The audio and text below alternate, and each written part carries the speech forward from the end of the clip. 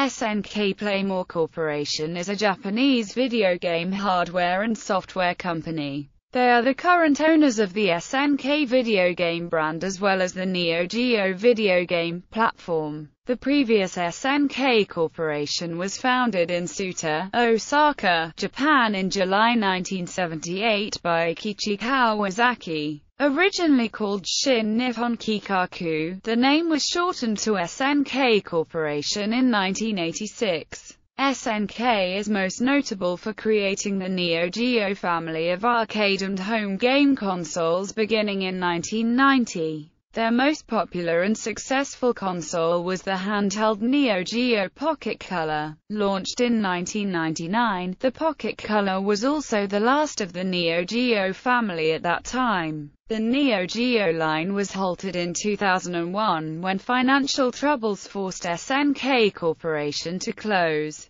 Anticipating the end of the company, Kawasaki founded Playmore Corporation in August 2001. By October, Playmore had acquired all of the intellectual property of the former SNK Corporation. Playmore then became SNK Playmore in 2003 and firmly established themselves as the successors to the SNK brand and legacy. For this reason, the name SNK is frequently used to refer to either company. Today, SNK Playmore operates primarily as a third-party video game developer and publisher on all major platforms including arcade and PC. Outside of video gaming, SNK Playmore has also expanded into pachinko and slot machines since 2004 and mobile game development beginning in 2009. Classic SNK franchises like Metal Slug and King of Fighters feature heavily in their current offerings.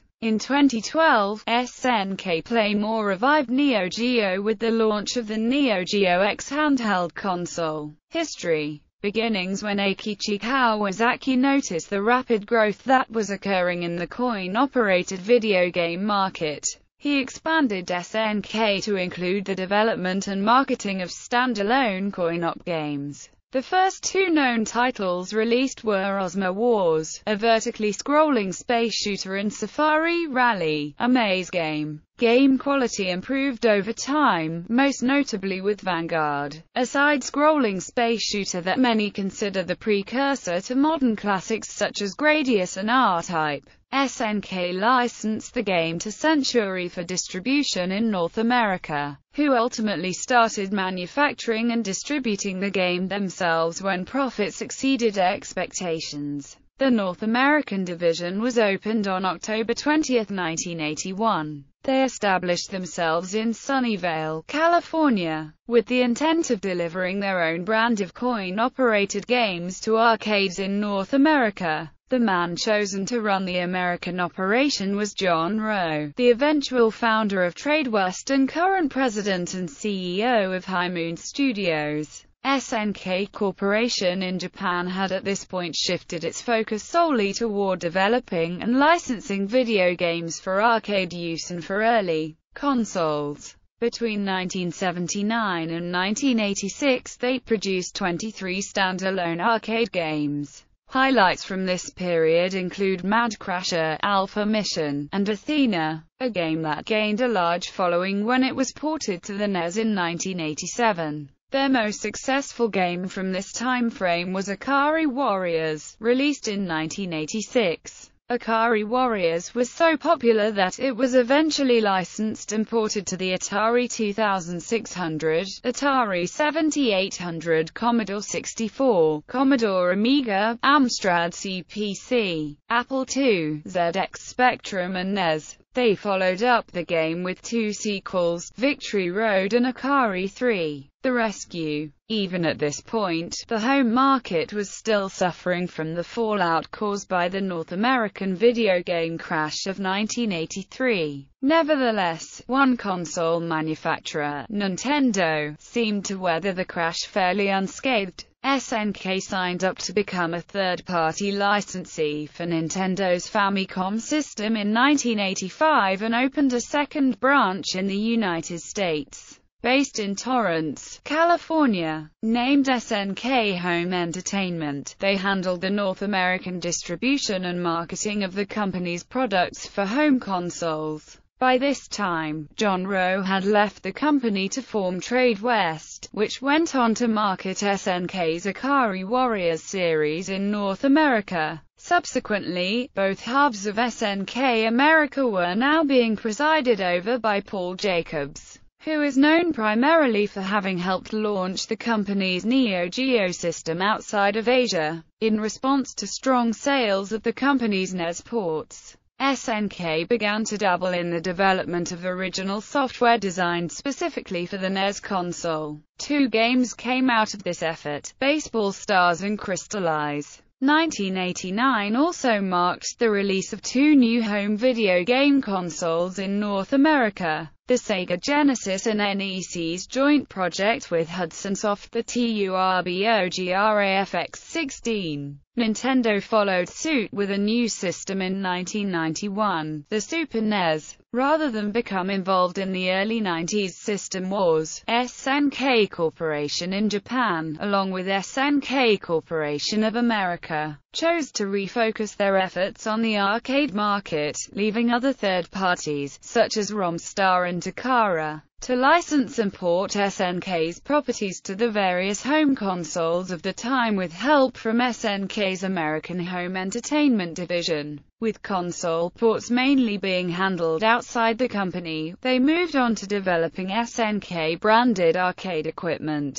SNK also licensed Tiger Electronics to market handheld electronic games from some of its brands multi-video system in 1988 SNK created the idea of a modular cabinet for arcades. Up to that point, arcade cabinets typically contained only a single game. When an arcade operator wanted to switch or replace that game, they would have to completely remove the internals of the existing cabinet or exchange the entire setup for another game. SNK's new system, called Neo Geo MVS, featured multiple games in a single cabinet and used a cartridge-based storage mechanism. The system debuted in 1990 and could contain one, two, four, or six separate games in a single cabinet. In order to swap in a new game, all the operator had to do was remove one cartridge and exchange it for another. The MVS was an immediate success.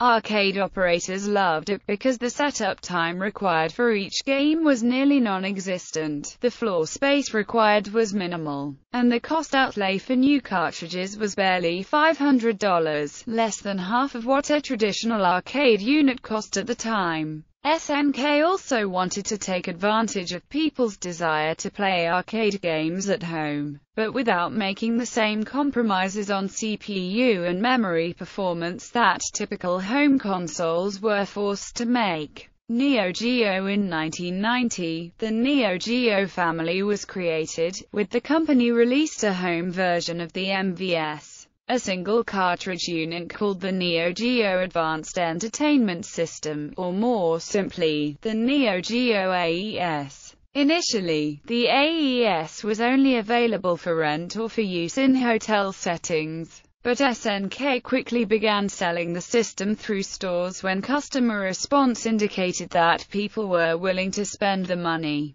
Several franchises of games derived from it, including Sengoku, The King of Fighters, The Last Blade, Super Sidekicks, Art of Fighting, Metal Slug, Burning Fight, Samurai Shodown and Fatal Fury. SNK also helped publish third-party Neo Geo games including ADK's World Heroes, Noise Factory's Rage of the Dragons and Sengoku 3, Sunsoft's Galaxy Fight. Universal Warriors and Waku Waku 7, and Technos Japan's 1995 Double Dragon arcade game and Voltage Fighter Gowcaizer. Besides the Neo Geo series of games, they are notable for some standalone arcade games and home console ports of them, including Vanguard, Athena, Ikari Warriors, Psycho Soldier, Touchdown Fever, POW, Prisoners of War and Street Smart. Compared to the other consoles of the time, the Neo Geo AES had much better graphics and sound. It featured two CPUs, A 1632nd-bit Motorola 68000 main processor running at 12 MHz and a Zilog Z80 backup processor running at 4 MHz.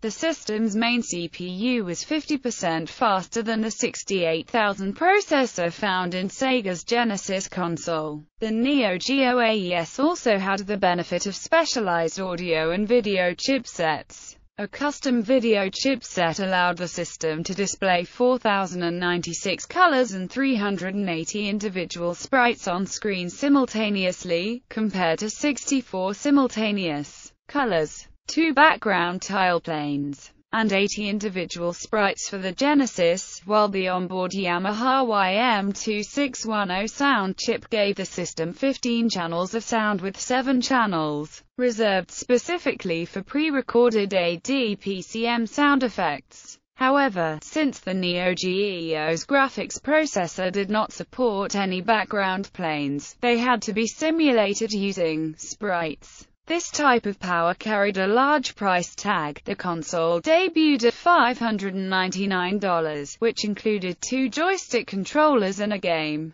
Within a few months of the system's introduction in North America, SNK increased the cost to $649 and changed the pack and game to Magician Lord. The console sold for $399 with one control stick and without a game. Other games cost $200 and up each. Each joystick controller was a full 21 halves inches tall, measured 11 inches long by 8 inches across, and contained the same four-button layout as the arcade MVS cabinet. The quality of the games varied. Some, such as the Super Sidekicks series, were all new creations, while others were updated versions of earlier successes such as Baseball Stars Professional. SNK games were graphically bold and bright, with games such as Top Hunter, Roddy and Cathy and the famous Metal Slug series being distinctive and instantly recognizable, contributing to the system's success in the arcades. They also produced the Neo Geo CD, the Hyper Neo Geo 64 and two handheld systems, the Neo Geo Pocket and Pocket Color. Several of their more famous franchise titles, originally created for the MVS and AES systems, have been ported to other consoles such as the Sega Genesis, Saturn and Dreamcast, Super Nintendo Entertainment System, PlayStation and PlayStation 2, Xbox, and more recently, the Wii. The Neo Geo Pocket was SNK's original handheld system. It was released in Japan in late 1998, but quickly discontinued in 1999 in favor of the Neo Geo Pocket Color, due to lower than expected sales with the monochrome Neo Geo Pocket.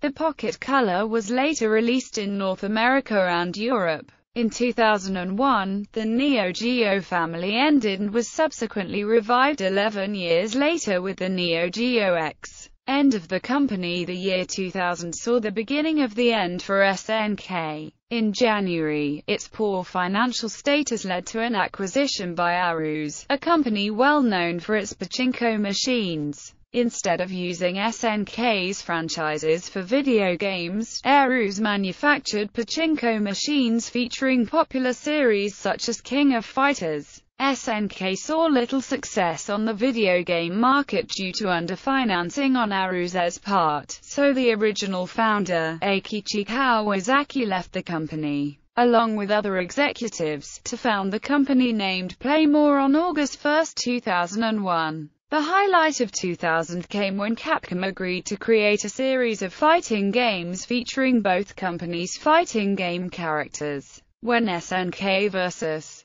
Capcom was released, it was a success, but most of the profits went to Capcom as it developed and published the game. SNK released SNK vs. Capcom, Match of the Millennium and SNK vs. Capcom. Card Fighters Clash on the Neo Geo Pocket Color. Combined, they sold an unremarkable 50,000 copies. SNK closed all American operations on June 13, 2000. After this time, the North American distribution rights to MVS Coin Op systems, The Neoprint photo system were sold and North American localizations of certain console releases were licensed out to outside companies.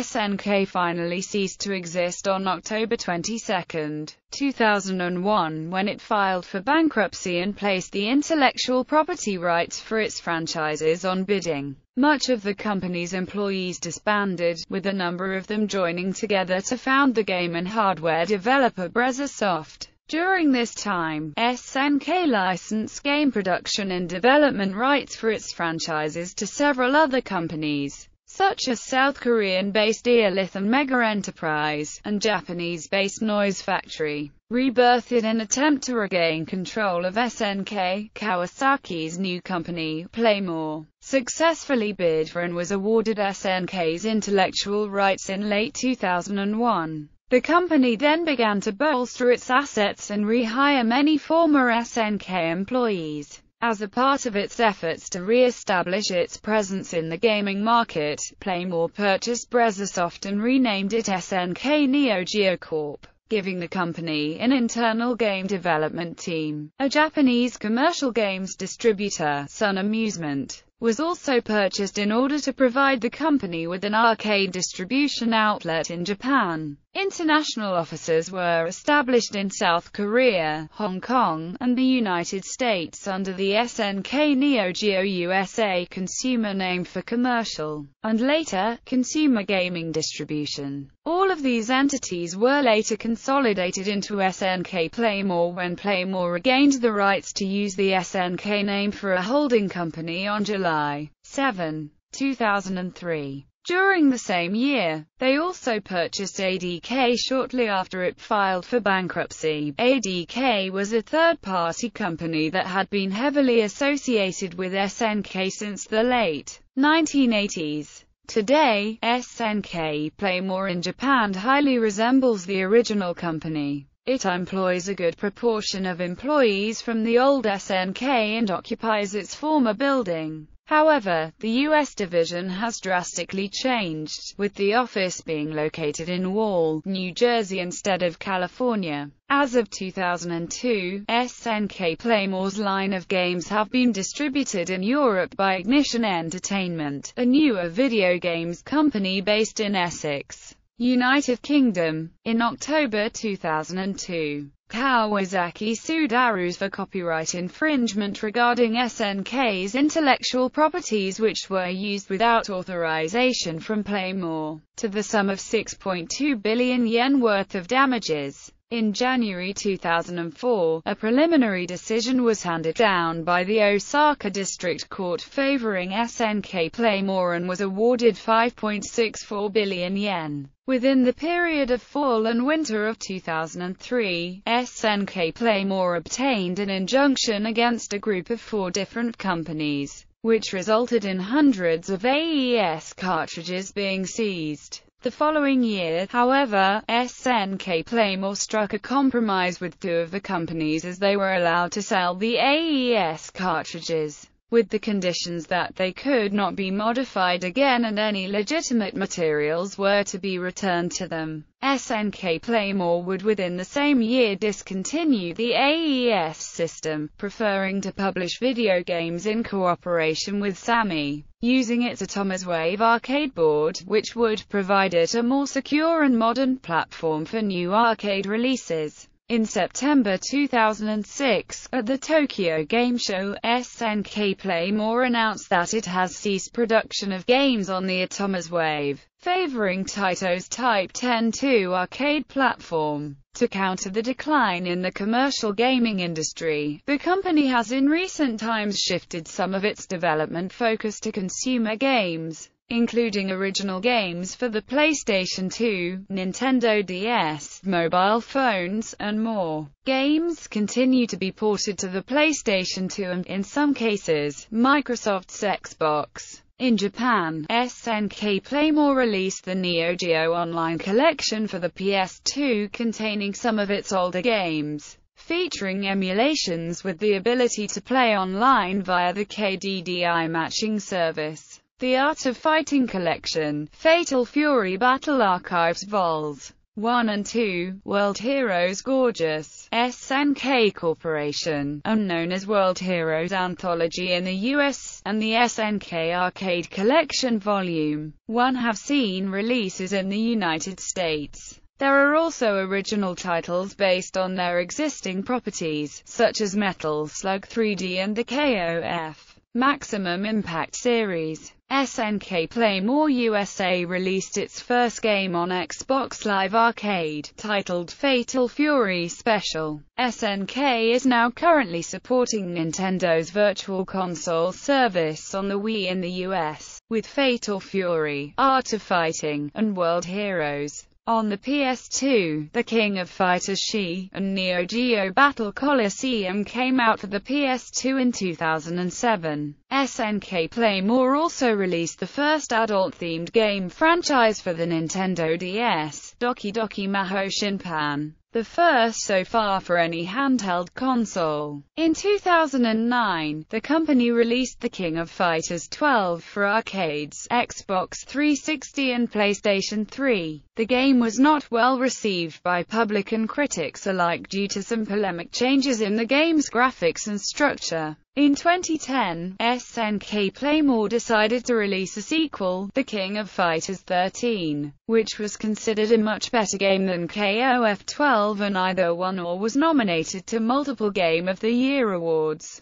In December 2012, SNK Playmore released a relaunched mobile Neo Geo console that will play games on the go, using preloaded games stored into the hard drive of the handheld console and games that come on small cards. The Neo Geo X the docking station used for recharging the handheld system resembles a Neo Geo AES home console, with slightly smaller joysticks available that also resemble the versions used for the AES. The joysticks are used when the Neo Geo X is in the docking station, so people can play games through their televisions, with both standard video and HDMI support.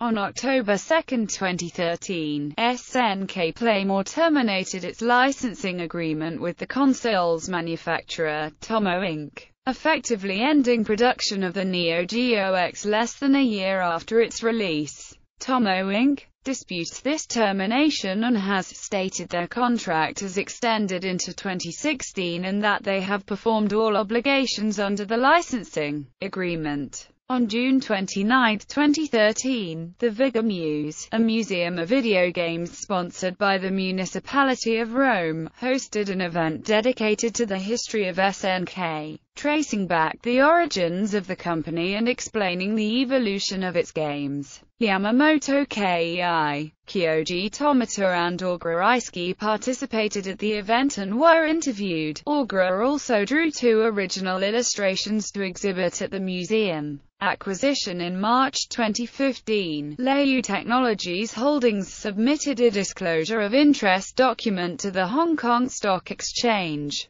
highlighting a possible investment in a renowned Japanese video game developer. Later in August, it was announced that two separate companies, Oriental Securities and Shunrong Sanke, had formed a joint venture to invest in Ledo Millennium, a subsidiary of Leyou Technologies. They then went on to acquire the Kawasaki's 81.25% stake in SNK Playmore for $63.5 million. The reason given for the acquisition was to gain rights to SNK Playmore's IP, and further develop them by following Marvel's approach to mass media, with games, comics, film and television, subsidiaries and related corporations. SNK Playmore HK Co. Limited handles character licensing, as well as hardware and software sales in East Asia. SNK Neo Geo USA Consumer Corporation handles software sales in the Americas. Neo Geo do Brazil handled hardware and software sales in Brazil 1993 to 1998. SNK Playmore Europe Corporation, handles software sales in Europe. SNK Playmore Philippines Corporation, handles software sales in Southeast Asia.